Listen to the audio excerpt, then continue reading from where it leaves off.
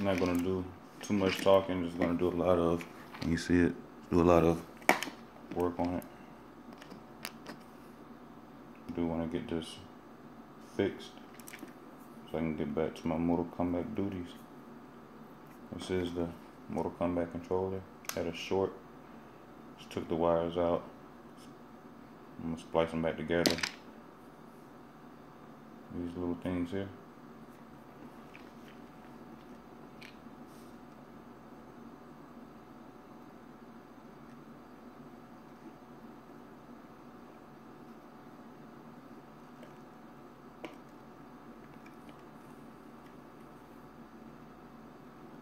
Actually started smoking on me. Wires were touching. And I love this controller, man.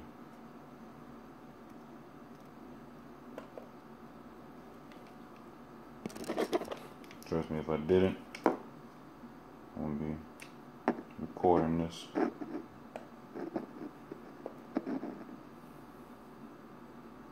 Just go buy a new one, but this one, man, is means a lot to me. Yeah, just put it back together. Got two more to do.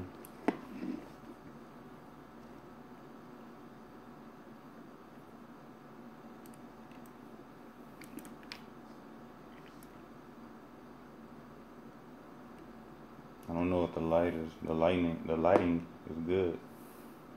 No. Wasn't even thinking about making a video out of doing this, I just did it.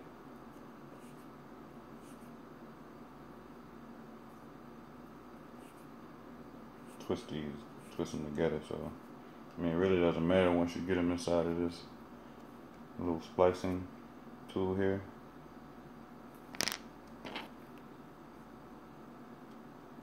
And I'm gonna cut that a little bit.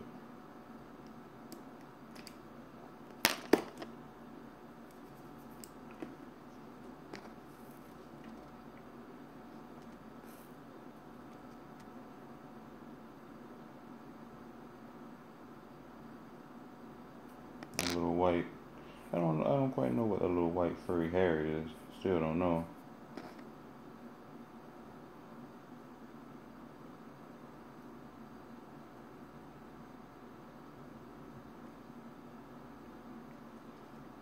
Alright, I guess I should have twisted them same time.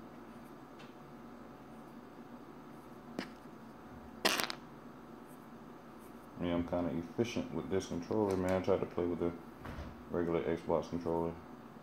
Just garbage, man. Think guys really left the party and stopped playing with me after I couldn't do too much. It was kind of telling me, hey, you need to fix that.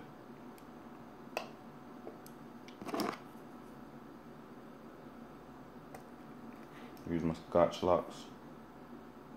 I think they're made by Klein. Yeah, Klein Tools. Alright, last two here, the red wires. Twist these together. I'm not sure if it's going to work, but if it does work, I'll upload it to YouTube.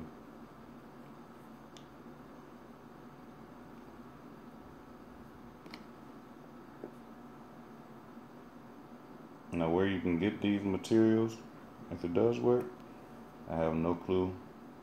It's just something that you have to research. I actually got them from my job. I'm dealing with cable and telephone. I have a lot of little materials laying around.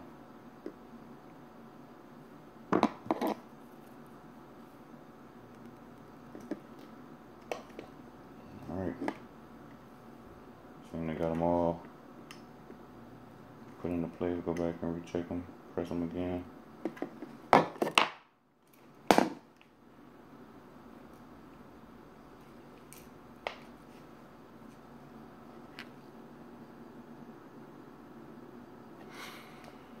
Okay. Let's see what happens when you plug it up.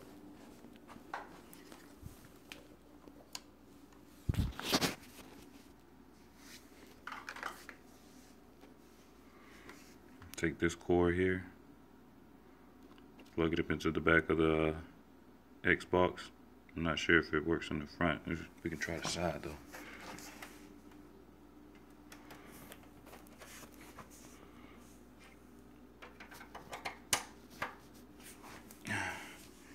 Just gonna hit the power button. See if the light comes on the controller.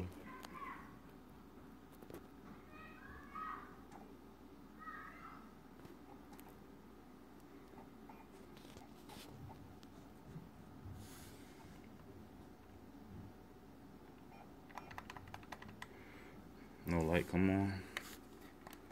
I was hoping that it did. So I'll be back. Okay, so what I'm gonna do now, kind of remembered something was really wrong with this socket over here. I don't, I don't know if I blowed it or not. So what I'm gonna do, I'm just gonna unplug it. I haven't did any other modifications to it. Just gonna take the back of the Xbox. See, I have I already have my Qanba hooked up to it. It's made for the Xbox 360, but I bought this from Focus Attack. I'll unplug it so I can show you. It's Xbox One converter thing. You just take your plug here in the back of the game or the arcade pad. It's like a little USB once you plug it up in, the port and I remember I plugged it up on the side over here. And didn't come on. That's why I plugged it up in the back. So let's I'll put this to the side. Let's take the Mortal Kombat. Regular controller I just turned the game off? But what we're gonna do is take the Mortal Kombat controller plug it up in the back and let's see what happens. Let's do that now while the game is off plug it up and back on one of these USB ports. Yeah. yeah. Boom. We got power, baby. Thank you for watching this video. This is my first video on, you know, just, I don't know. I'm just happy that it come on. It's time to get back to it, baby. Xbox One gamer tag, Guru Cambodian. Mortal Kombat. Thinking about getting that uh, Ghost Recon Wildlands, man. I played it on a regular controller though, but I'm just happy it worked. Peace out. Son's life.